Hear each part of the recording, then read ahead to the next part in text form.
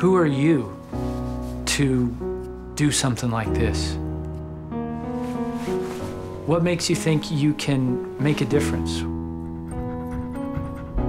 What makes you think that you can succeed?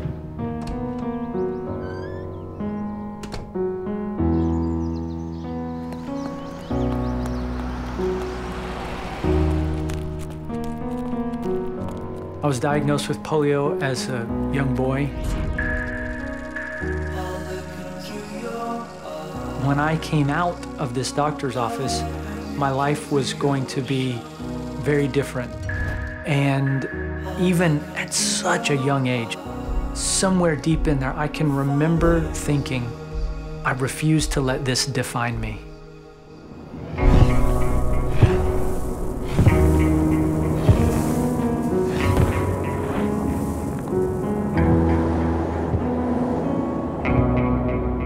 Mongolia evokes the kind of emotion that I would read in an adventure book as a child. The place that was always winter but never Christmas.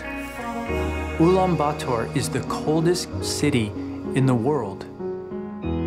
There is a big problem. Thousands of children that have been abandoned, many of them living on the streets.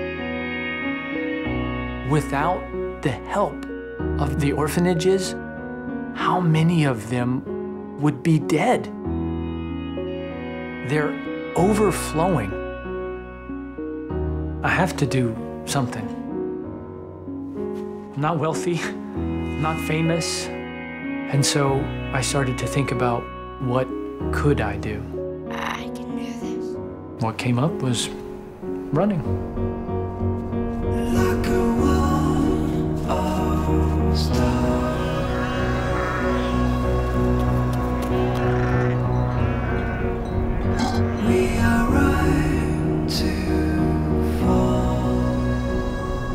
I'm going to run 1,500 miles across the entire country of Mongolia to raise awareness and support for orphans and vulnerable children.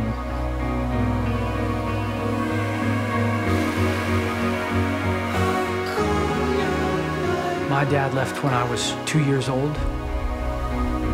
Nobody should ever be abandoned. I would deny part of who I am if I didn't at least try.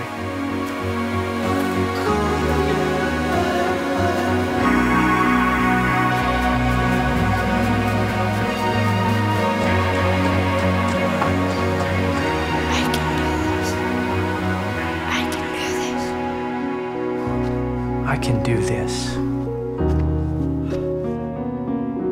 I want you to see these children and have a spark of hope be ignited in your heart that you can make a difference.